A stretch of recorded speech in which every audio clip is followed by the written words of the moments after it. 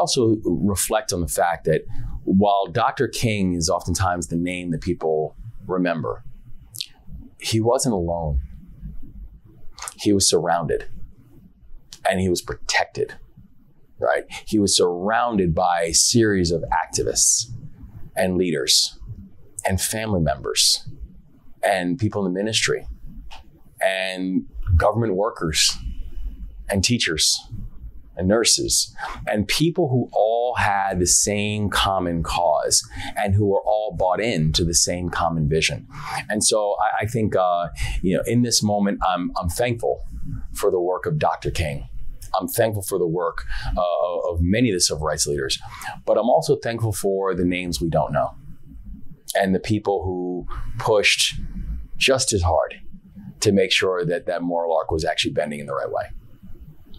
Governor Wes Moore of Maryland, thank you so much to be here reflecting on this anniversary with me today. Bless you. It's my pleasure. Thank you for your leadership.